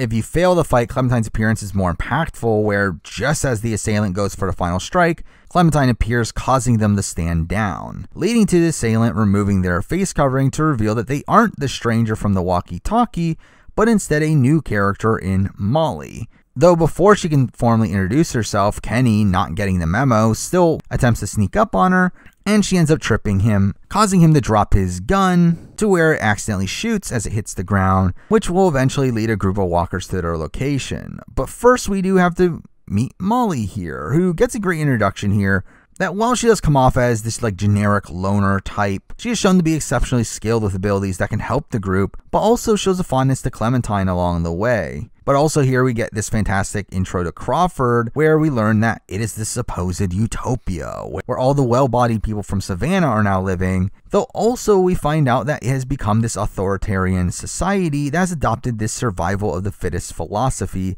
where they exile children, elderly, and disabled people to where instantly this makes it come off as dystopia. It also shows why she now trusts our group as Clementine wouldn't be allowed in Crawford, meaning that we're not a part of them. And again, this really sets up Crawford as this major antagonistic force here that we'll have to face off against, which I do like how this episode ends up subverting your expectations when we learn the reality of the situation. But eventually, the walkers end up interrupting our talk, and we get another action sequence as we try to escape from them, only for Molly to end up escaping on her own by making her way up a fire escape that we can't reach. And while she contemplates leaving us there, it is again Clementine that changes her mind, once again her being used as a plot device to appeal to strangers. But after Kenny and Clementine are pulled up, Lee ends up getting stuck in the alleyway, but Lee ends up finding a manhole, which Molly throws him for climbing pick, to which Lee ends up using it to pry open the sewer entrance and make his escape leaving Lee on his own for the next little bit as he has to navigate the sewers, which is a pretty boring stretch gameplay wise, where we do find a group of walkers and have a short puzzle section of trying to distract them by turning on the water on one side and sneaking to tunnel to pass by them. But once reaching their former location, we do find out that they have been eating away at Chuck's remains, with him having empty gun nearby, implying that he had taken his own life right before the walkers caught up to him. A really somber way for his character to go here, but then we get another action section where a walker ends up reaching out for Lee's leg, and if he kills it silently here, he goes through the rest of the section undetected, though if you end up using a gun here, it causes the distracted walkers to head back towards him, giving us a time limit in us reaching the exit. Though while failing to reach it, we instead end up finding a secret entrance into the back room of what would later turn out to be a morgue, though through this we do end up encountering a small group that resides here who instantly assume that Lee is from Crawford, and through that, now think that they are in danger, leading to an interrogation section where if Lee says the wrong things, like threatening the group here, it can lead to him being killed, to which you have to obviously replay the section again, but here we do get introduced to the two important characters of this group, that being Vernon, the leader of the group, and Brie, who's initially hostile towards Lee here, though later in the episode they do end up being tentative allies for him. But here we do find a way to disarm Vernon, which will either be by doing it in a calm, slow manner or by doing it by force. But either way, we do eventually learn that this group has been exiled from Crawford as a group of cancer survivors who are no longer deemed fit to be within that society. But no matter what, when we leave to return to the mansion, Vernon ends up going with us. But again, the context behind why can be radically different here. You can talk about your bond with Clementine, which will obviously humanize you to the group and will allow you to bring him along without lying which will make Vernon go peacefully without any ill will. Lying to him will cause him to get upset once he gets there, or you could just straight up force him to, at which you completely burn your relationship with him, though either way, Vernon still ends up being kind of a dick to you by the end of the story anyway, so again, doesn't really matter. But immediately after returning to the mansion, we do find Molly sifting through the mansion for supplies, with her still coming off as a self interested figure here, though we do end up returning her pick to her and welcome her to stay at the mansion, making her a temporary member of our group here. Also, while Vernon is here, him being a doctor, he ends up working on Omid's injured leg, all while we notice that Clementine has gone missing again, really making Christa and Ben come off as incompetent here in watching over, and really makes it a questionable choice that Christa and Omid are the ones to take care of Clementine after this. But along the way, we do end up finding a drunk Kenny who tells us how hopeless the situation is. But eventually, we do go to the backyard to look for only to hear a knock in the shed, and when we open the doors, we do find Clementine inside, conveniently alongside a boat furthering the boat storyline and rejuvenating Kenny as he once again regains hope after seeing it. Now, some time passes and we do see Lee pacing around the living room until we eventually get a rundown on the current situation. But along the way, Vernon ends up finishing his work on Omid, but Omid still ends up being bedridden. We do learn from Molly that she now plans on getting on the boat along with the group as she feels that she is owed for saving Lee's life. But eventually, Kenny ends up returning after checking on the boat, revealing that the boat is in good condition but does need a battery and some gas. And with the group talking about Crawford being the only location in the city that would have those things, this does set up the rest of the episode, where the group now needs to infiltrate Crawford, this ominous community that has been really set up as this antagonistic force beforehand, to where we are essentially going to be having a heist mission, taking on this group in what is a perfect way for this narrative to move forward here. We're now aligning with Vernon, who knows the area well. He ends up creating a plan sneak through the sewers in order to get in, in exchange for agreeing to help him get medicine along the way, really adding to this ragtag bunch of misfits trope that this mission exudes, but ends up adding to the scale of the mission as a whole. After the initial planning stage here, we do end up finding Clementine listening to the group's plans, and we do get to talk to her about the dangers that this heist mission can bring, leading to her stating that she needs to get ready, mentioning that she wants to go flee to find her parents, who she assumes are in Crawford, leading to another decision of ours where we get to decide on whether or not to take Clementine with us, which for me, while taking her to Crawford puts her in a lot of danger and earns you the scrutiny of the stranger later on, I do feel like from a narrative perspective, the story is a lot more impactful if you do take her with you, showing the development in Lee and Clementine's relationship to where he ends up trusting her here, and also a scene in Crawford ends up further developing her character as well. Also, I do just straight up feel bad for Clementine in the scenario where you leave her behind, where she's like walking away dejected.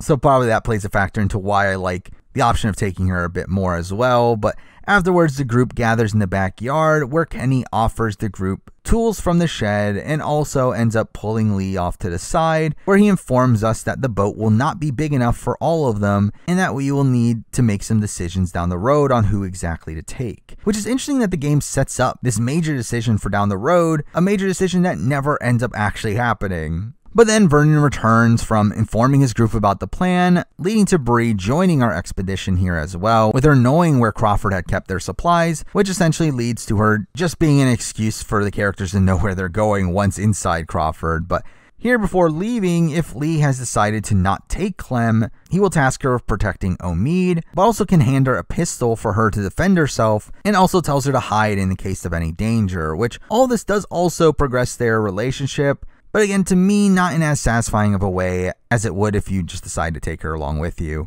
Though there is an option of you not giving her a weapon at all, which at that point it really makes all of this a disappointing route to take. Though here the decision to take Clem with them will cause Vernon to be upset at Lee for that decision, that does potentially set up future events with Vernon better than if you don't. But then the group leaves for Crawford, where after exiting the sewer, we do see a man standing guard and try to sneak up on him, only for it to be revealed that he is a walker. A great reveal to see the current state of Crawford here, the supposed utopia that we now see having ended up crumbling due to the walkers and ends up radically changing the mission here. With the community now being filled with walkers instead of humans, who would have been a lot more difficult to deal with essentially minimizing the threat level of the mission at this point, though we still end up having to escape to a school that ends up conveniently being the place that they used as a storehouse. But from there, we are able to find a classroom labeled as the control room, which contains a locked door that leads into the armory, which initially Ben ends up working on on his own. And we do have the team split up into pairs of two to get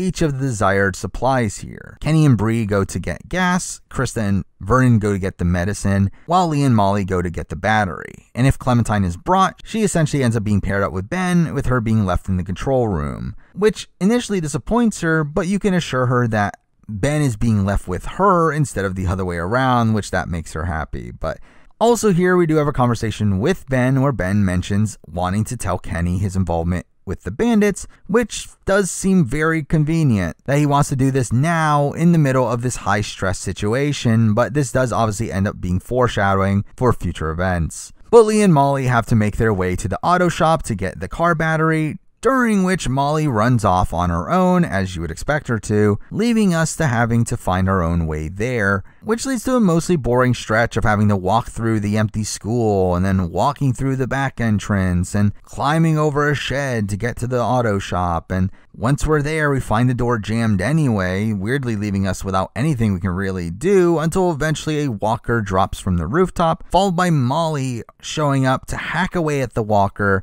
being clear that she has a personal vendetta against it. Though obviously Molly denies these claims, though I did like this foreshadowing to Molly's connection to Crawford, that becomes more apparent later, but then Molly ends up helping us enter the auto shop conveniently right before a group of walkers catch up to us. And at this point, we do end up exploring the auto shop, obviously searching for a battery, which ends up being in a lifted up car, to which we end up having to cut down the hydraulic tube with Molly's pick. But in doing so, the car's alarm ends up going off, leading to another action sequence with the walkers breaking in, and we have to grab the battery quickly and climb to the rooftop. And after we get another one of the more annoying gameplay sections in the original release, where Lee and Molly have to jump back to the rooftop of the school. And the jump itself all comes down to a couple seconds where you have to grab Molly's hand, which wasn't the easiest thing to do on the original release with the really laggy controls, but again, it's gotten better in future releases, but this does lead to Lee returning to the main section of the school,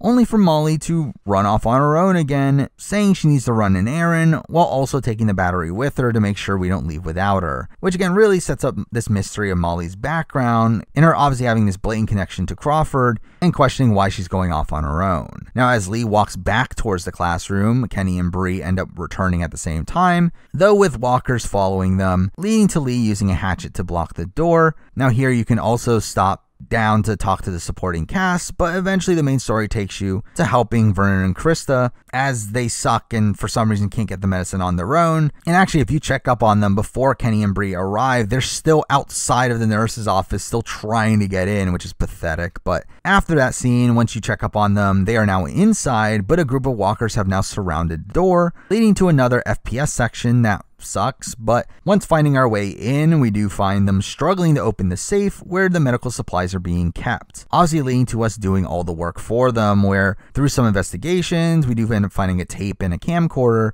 and through watching the footage, we do get to see the visits of a pregnant woman named Anna Correa she tries to fight back against Crawford's policies, with her now being deemed a liability due to her pregnancy. And through watching this video, you do recognize the doctor as the walker that Molly was hacking on earlier, furthering Molly's connection to Crawford here, but also leading to us having to retread our steps and going back to the auto shop to find the body and hopefully finding a combination there, and that's just all really tedious. And along the way, they do add a walker attack in the shed that again is also just kind of annoying with this entire section just feeling very monotonous but on his body we do end up finding a locker combination along with a second tape that while watching this tape we do end up seeing the doctor put in the combination giving us the code that we need but also interestingly here the video does show anna correa as the one to kill the doctor, and we see her proceed to steal the gun, killing guards on her way out, presumably starting the downfall of Crawford.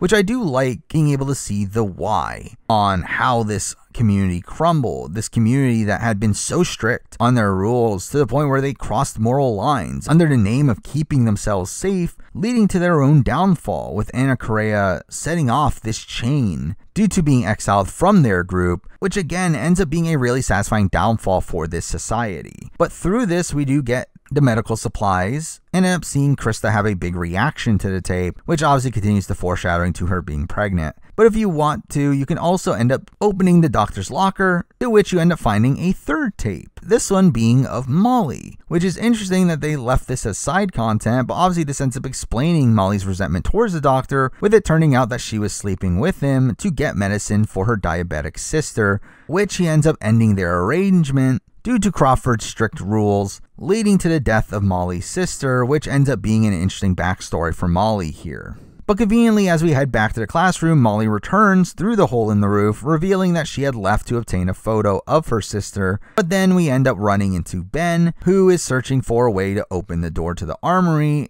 and ends up showing them the hatchet that he found, which they promptly figure out was the hatchet blocking the door, and what do you know? Walkers start to barge through the door, showing Ben as pretty incompetent here, but does lead to another action sequence where we do see Molly holding her own until Walker grabs a hold of her, and Lee now has to shoot the Walker down to save her. If you do shoot the Walker, Molly obviously ends up being saved, while Obviously, if you don't shoot it in time or end up accidentally shooting Molly herself, this ends up being the farewell to her within the story, with her having to run off defenseless, which has always been an underwhelming farewell to the character from my point of view. But something cool here is that if you do end up taking Clementine along with you, Molly ends up being saved by her instead, providing a great moment for Clementine's character being the first time she uses a firearm here and putting it to good use. But once we do get back to the classroom, we do have Kenny finally opening the door to the armory, and conveniently, this is when Ben decides that this is the right time to come clean to Kenny, where he tells him about his dealings with the bandits, and this all just feels really dumb that he is choosing this moment of all moments to tell him, again, when walkers are literally closing in on them and when Kenny had just opened the door, meaning that they have a route out.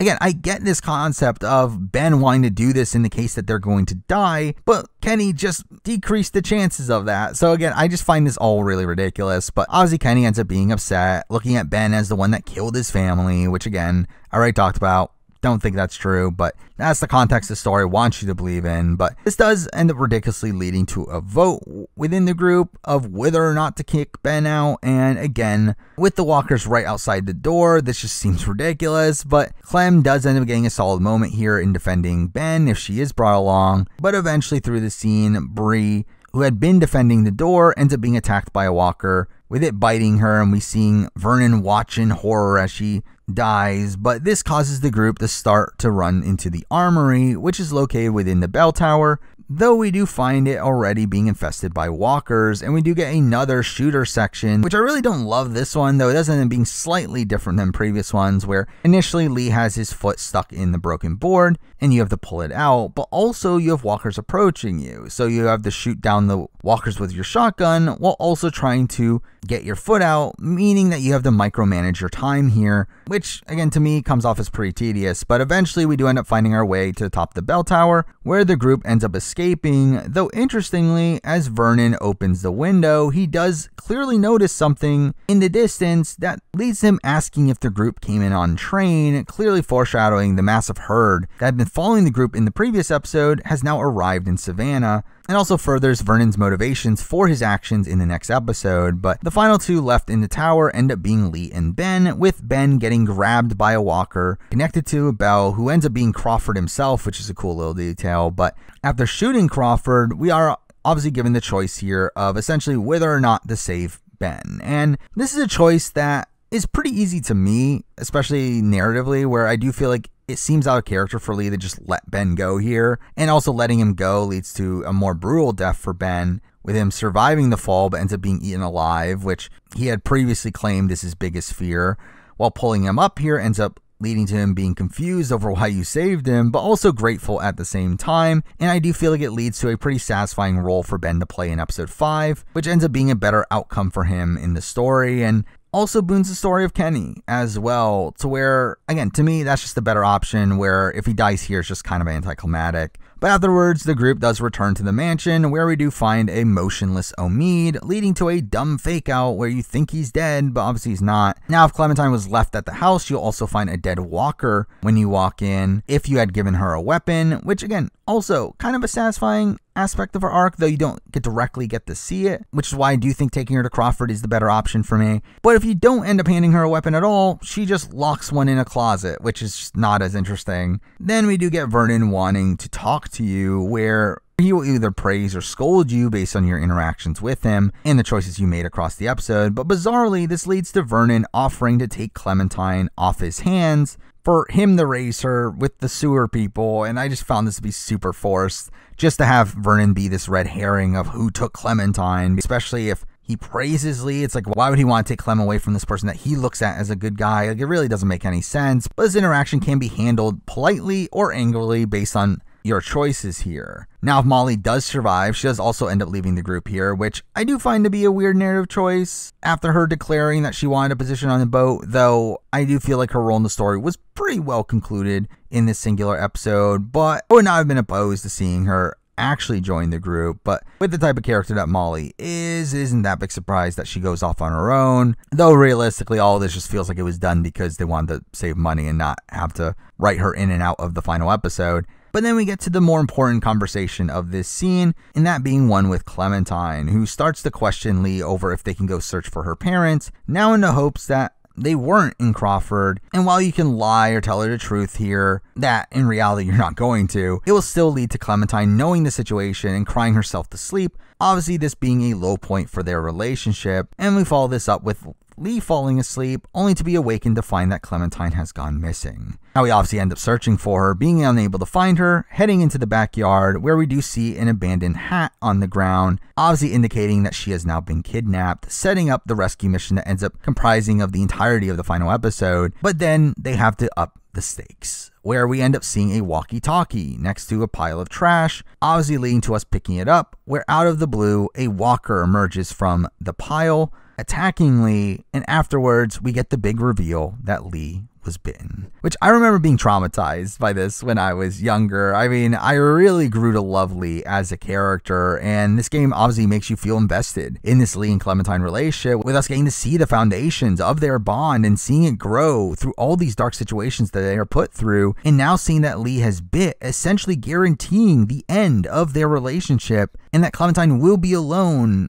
even if you succeed in your goal here, is a really depressing way, but also a perfect way to end the story here, having this final episode being dedicated to rescuing her with the increased stakes of Lee's impending death and also showing Lee's dedication towards Clementine with him using his last moments to get her back, which narratively and thematically perfectly wrap up the narrative here despite the somber tone that it brings to the final episode, and also providing this really sad outcome for Lee's character here. But instantly after Lee was bitten, we do see the group going outside in search of him, and here we do get a moment that feels like the culmination of all the choices we made up until this point, where the group of Kenny, Christa, Omid, and Ben, if he's still alive, are told about Clementine being kidnapped, and based on the current status of your relationships with them, they can decide to go with you to help you rescue her. Now, along the way, we do get the choice of revealing or hiding the bite, which is something that I do find a bit disappointing about this outcome, in that this singular choice almost solely determines whether or not Omid and Christa go along with you, as if you do reveal it, they're guaranteed to go with you, while if you don't reveal it,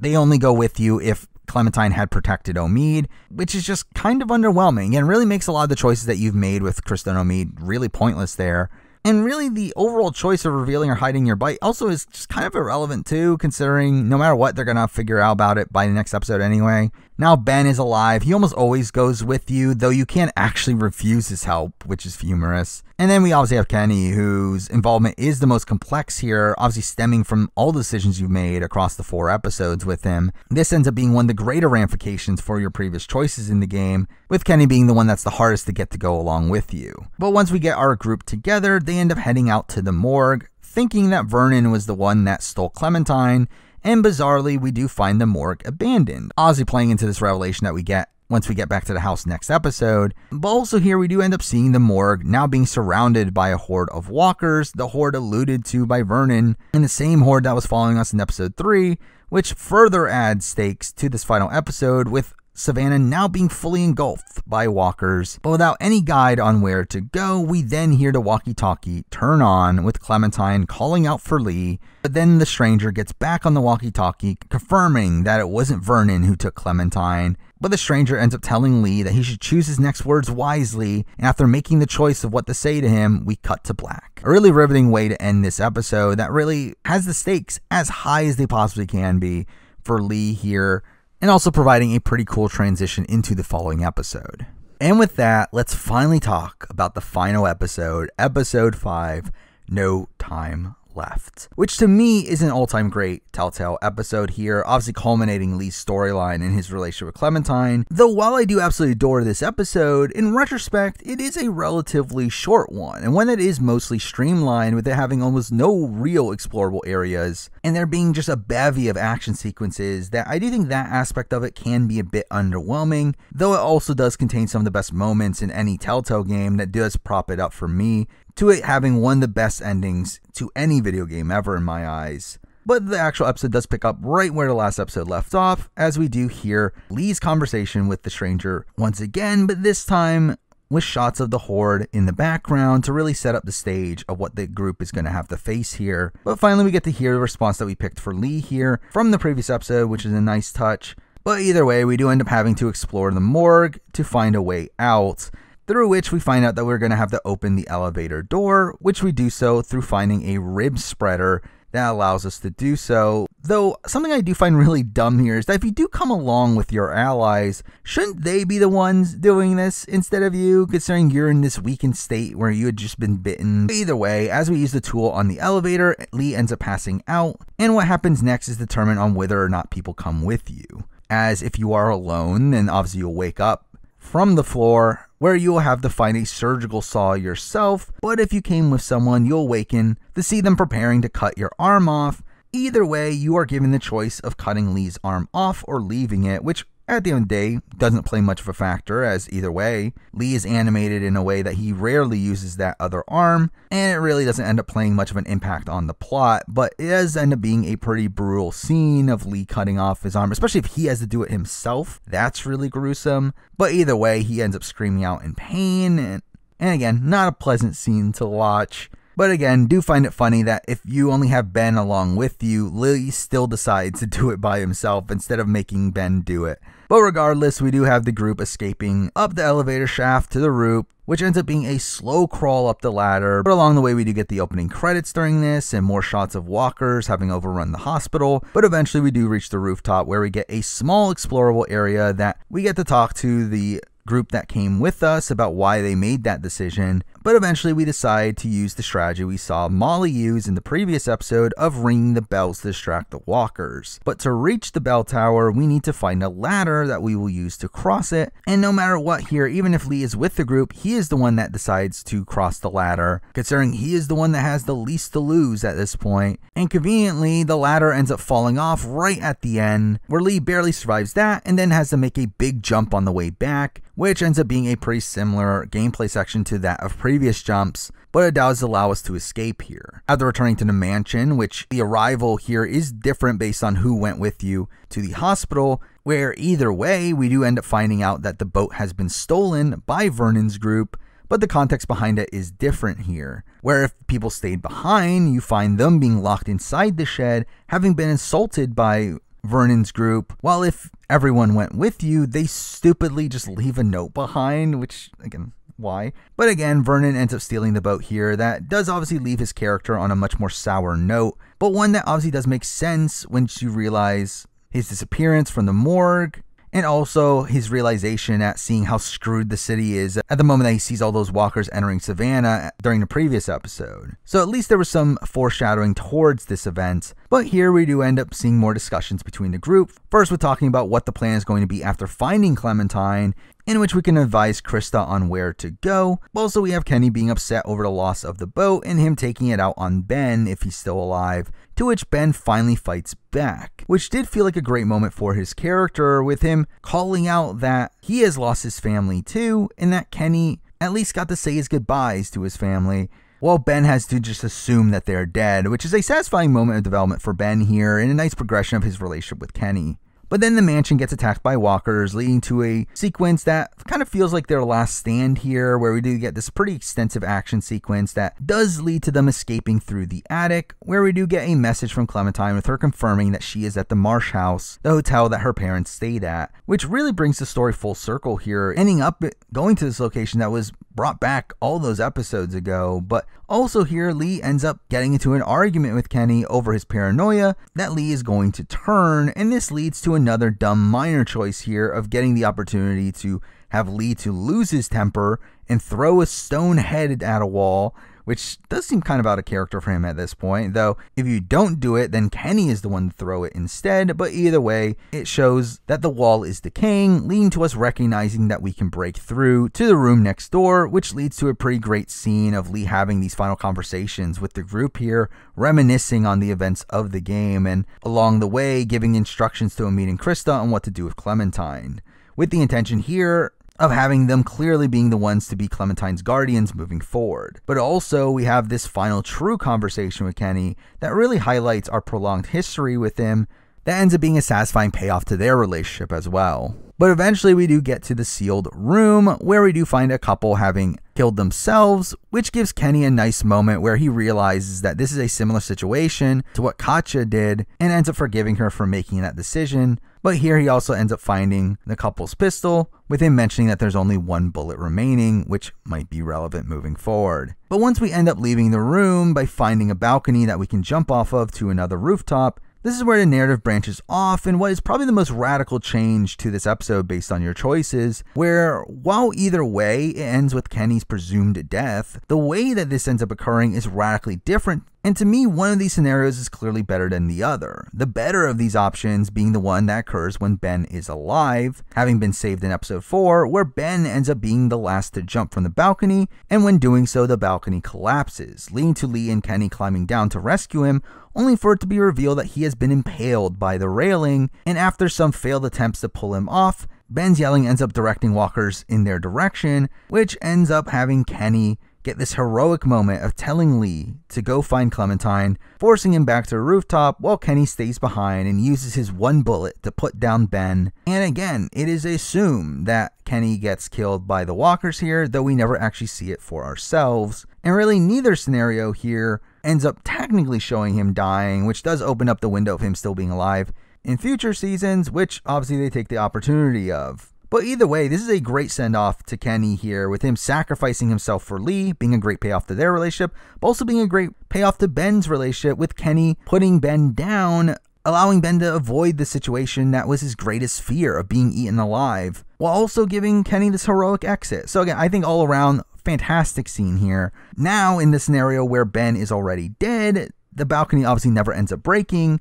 But the story progresses on the next rooftop. In the other scenario, this just ends up being a throwaway scene where nothing really happens. Here, instead, we will have Kenny accidentally cause Lee to drop his walkie talkie into the hole in the building, which strangely has Christa jumping in to retrieve it, though she struggles to get back up after doing so, where despite using a pole to try to help her up, she continuously slips and gains the attention of walkers, leading to Kenny sacrificing himself this way in jumping down to boost her up and ends up being surrounded by walkers. And to be honest, this ending just simply doesn't work as well for me. Really, it doesn't feel like as satisfying of a payoff here, where again, like it would have been if we had a lot set up to this like Kenny Christa dynamic, but there really wasn't any, especially in comparison to the Kenny Ben dynamic, and also the entire situation of how this all starts by Kenny patting Lee on the back just seems super forced as well, so again, never like this route. But afterwards, we do end up reaching the waterfront with the marsh house now in sight.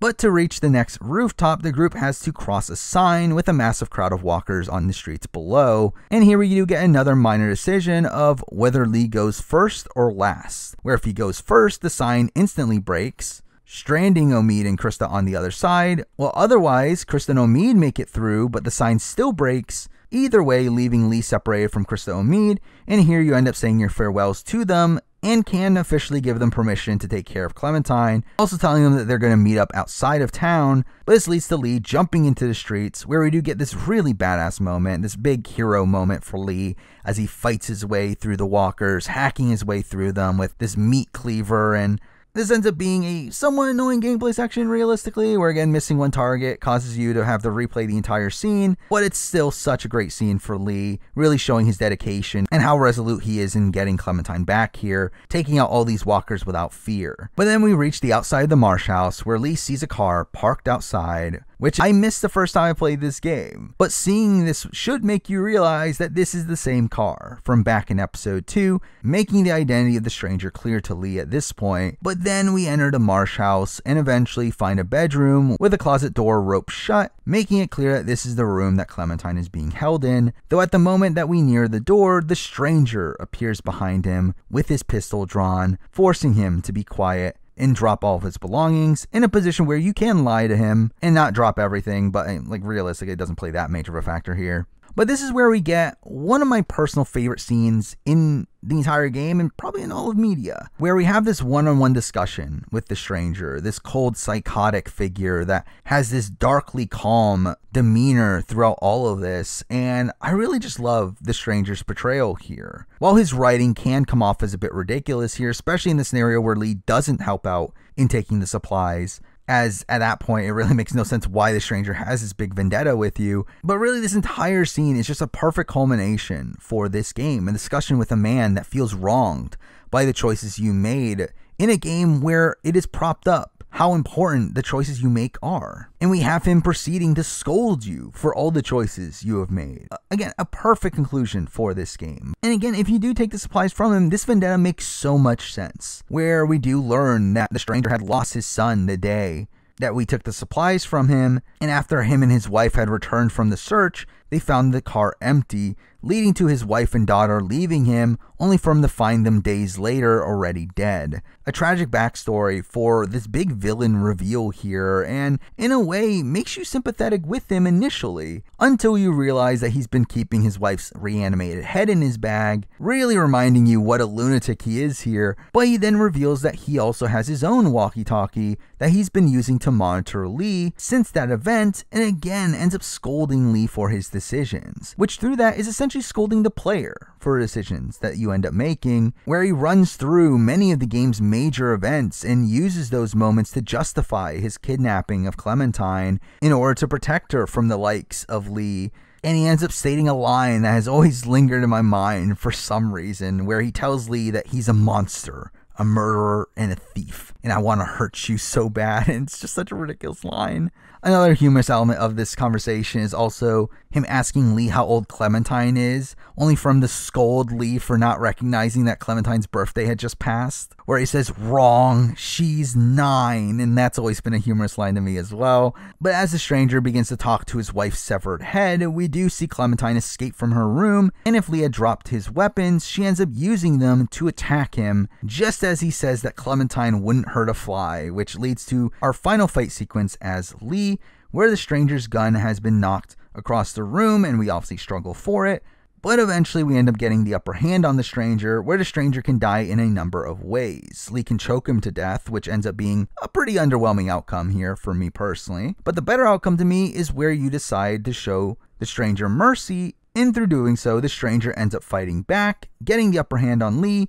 leading to Clementine being the one to pick up the gun and kill the stranger herself which to me is the much more satisfying outcome for the story here, showing Clementine's development as a character, showing what Lee had taught her, and also showing that these lessons end up helping them here, and also giving you hope that Clementine will be able to survive beyond this without Lee. But obviously, here we do have Lee and Clementine reuniting, where she apologized to him, where she clearly puts the blame of this entire situation on herself, while also noticing Lee's weakened state. Though with Lee knowing his time is limited, we do have to exit the room as quickly as possible, only for a walker to be right at the door but it ends up ignoring Lee with him being covered in walker guts due to his fight across the street. But this makes Lee realize a hack here in now covering Clementine in walker guts herself in order to mask her from the walkers as well, during which Clem is clearly disgusted, though this doesn't becoming important knowledge for her in future seasons where she does use this to her advantage, once again showing you the lessons that Lee has taught her. But then the two end up walking along the street, with walkers ignoring them along the way, but conveniently, Clementine at one point stops to look to the side, noticing her parents being part of this walker group, which obviously seems very convenient, but does at least conclude the storyline here, allowing Clementine to move on from this. But just as this happens, Lee ends up passing out, leading to the final scene of the game. A pretty lengthy one at that, with Lee awakening as Clementine had just just lock them inside a jewelry store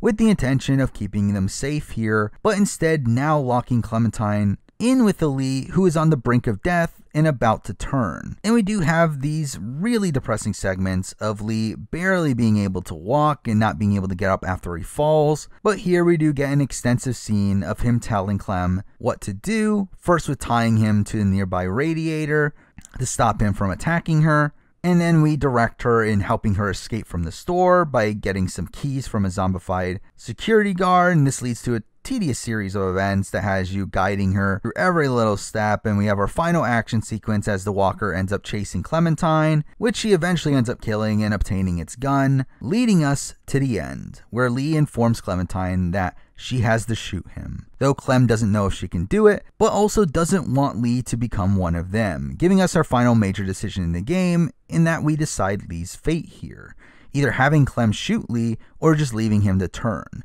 which again to me should be a clear cut decision here. Shooting Lee is by far the best ending for this game in pretty much every single way. The other ending to me feels like such a cop out, where having Clem have the seal Lee's fate here further cements her development as a character here and also gives Lee this really poetic final moment that's just so perfect in my eyes and really just a tragic way to end Lee's story here, but along the way, we do get some more dialogue choices as we have our final conversation with Clementine, giving her these bits of advice, which she will continue to mention in future installments. Though some of these options are kind of ridiculous, but it does all lead to Lee's final moments, where again, to me, the final shot of Clem shakily pulling the trigger as it cuts to black immediately afterwards is the most satisfying outcome to me, as the other ending is literally just Clem leaving and screen fading to black as Lee succumbs to infection, which is not as interesting. But something I do like here is that if Lee doesn't make a decision in time, Clem herself will make this decision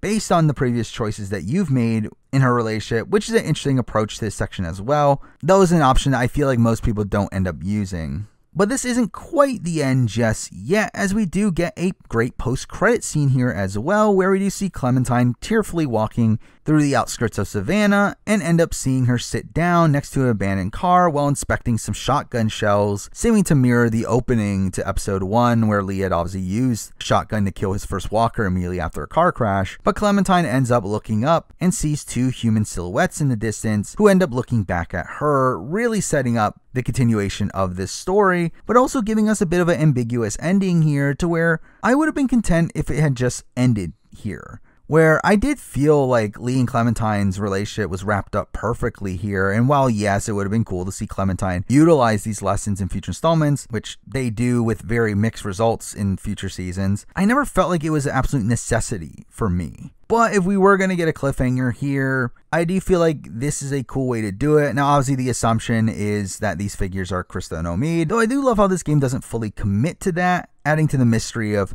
how the narrative will progress here, though, to be fair, even though it does end up being Christa and Omid, it doesn't really go in a direction that anyone could have predicted anyway, considering they're out of the picture almost instantly anyway, which does make the resolution to this cliffhanger a bit underwhelming, but doesn't stop this from being a great way to send off season one in its own right. But with that, I mean, that's the entirety of Telltale's The Walking Dead Season 1. Again, a game that radically changed the way I looked at the gaming medium, being an experience based almost entirely around its narrative and allowing for player agency in deciding how the story plays out, which again can underwhelm people in how many of these choices end up being irrelevant. However, I do feel like this is one of the Telltale games that actually handles your choices the best, while also taking the world of The Walking Dead and telling a really compelling narrative within it introducing us to mostly new characters that I, again, adored. I, I, love Lee as a character and seeing his relationship with Clementine and Kenny evolving. I love the grim tone that the narrative exudes with the game following a similar philosophy as the Walking Dead comics and show, and in that most characters can just die at any given point,